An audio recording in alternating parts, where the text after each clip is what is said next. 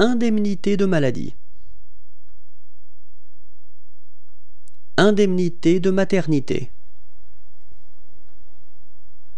Indemnité d'invalidité.